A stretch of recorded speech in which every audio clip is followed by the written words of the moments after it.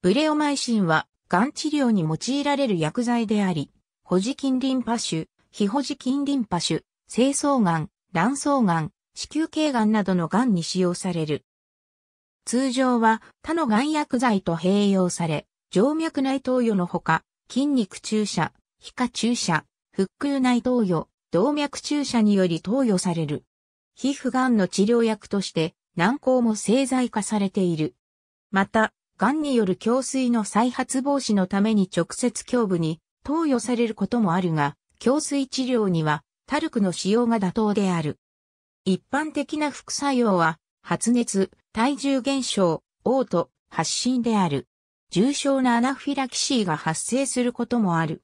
また、肺の炎症を引き起こす原因となる場合もあり、結果的に肺腺異症になることもある。数週間に一度の胸部 X 線写真による診察が進められる。ブレオマイシンの妊娠中の使用は胎児に悪影響を及ぼすことがあり、DNA 合成が妨げられると考えられている。ブレオマイシンは1965年、梅沢浜尾によって発見された。新生細菌のストレプトマイセスベルティシラスが賛成する。世界保健機関の必須医薬品リストの一つであり、最も効果的で安全な医療制度で必要とされる医薬品である。ジェネリック医薬品として入手でき、開発途上国では1投与14ドル78ドル米ドルで売られている。重篤な肺機能障害や肺腺以下病変、重篤な腎機能障害、重篤な心疾患を有する患者等には禁忌である。これは軟膏剤でも変わらない。また、ブレオマイシン投与中は胸部への放射線照射が禁忌となる。重大な副作用は、である。間質性肺炎、肺腺異常の出現は、警告欄にも記載されている。血管内への注射では直ちに、また筋肉内投与では投与後1時間で最高血中濃度に達する。その後の減少は2愛症で、半減期はアルファ症24分、ベータ症242分である。ブレオマイシンは皮膚に多く分布し、皮膚、肺、腎、膀胱では活性型であるが、肝、火などの他の臓器では不活化される。ブレオマイシンのほとんどは代謝されずに尿に排泄されるが、残りはアミノペプチダーゼにより加水分解され、不活性型のデアミドブレオマイシンとなる。軟膏を塗布した場合には、健常皮膚からはほとんど吸収されない。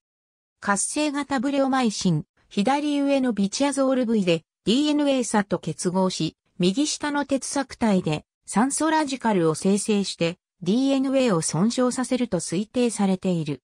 非ヘム鉄タンパク質の一種であるブレオマイシンは DNA 差の切断を誘発することで作用する。一部の研究ではブレオマイシンは DNA 差へのチミジンの取り込みも阻害することが示唆されている。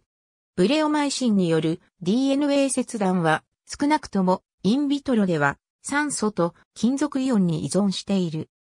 DNA 差切断の正確なメカニズムは解明されていないが、ブレオマイシンが金属イオンをキレートし、酸素と反応して DNA を切断するスーパーオキシド及びヒドロキシルラジカルを生成する疑似酵素を形成することが示唆されている。